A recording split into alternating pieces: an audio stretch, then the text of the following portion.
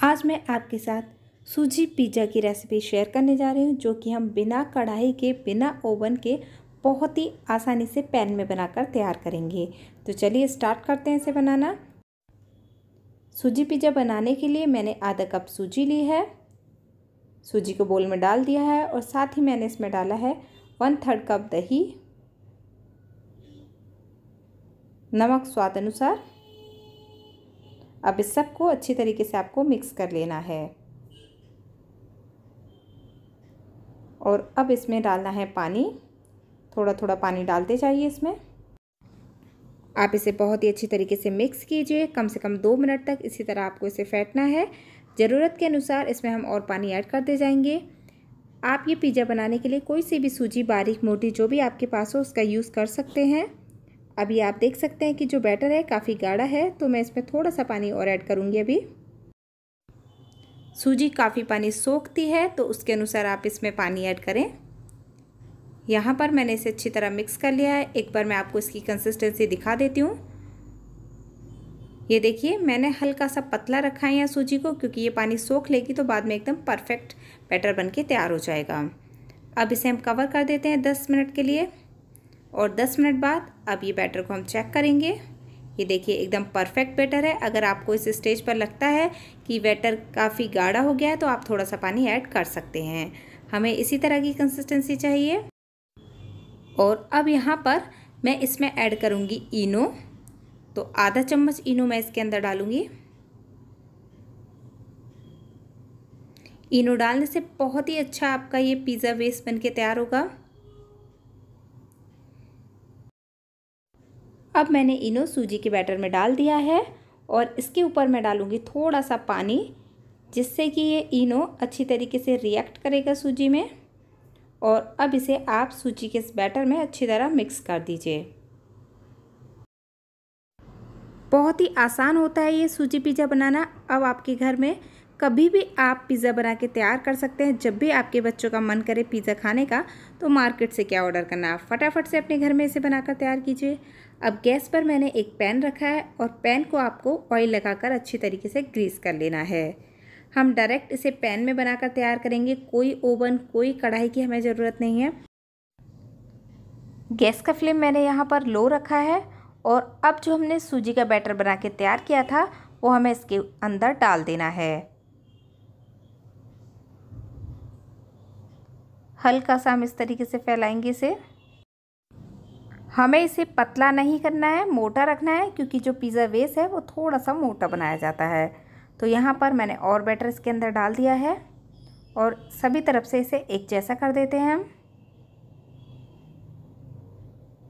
तो थोड़ा सा मैं और इसके अंदर बैटर डाल देती हूँ किनारों से। बस, अभी एकदम परफेक्ट हमारा पिज़्ज़ा बेस बन के तैयार हो रहा है। एक जैसा मैंने इसे सभी तरफ़ से कर दिया है। अब इसे हम कवर कर देते हैं और पाँच मिनट तक के लिए लो फ्लेम पर इसे बनने देते हैं। अब पाँच मिनट बाद मैं इसे चेक कर लेती हूँ। ये देखिए, जो हमारा पिज़्ज़ा बेस है ना, उसके ऊपर हल्के हल्के बबल्स आ गए हैं। तो अब मैं यहाँ पर एक चम्मच ऑयल साइड से डाल देती हूँ और थोड़ा सा ऑयल हम इसके ऊपर भी लगा देते हैं। इसका कलर ऊपर से हल्का हल्का चेंज हो गया है। तो अब हम इसे पलट देते हैं।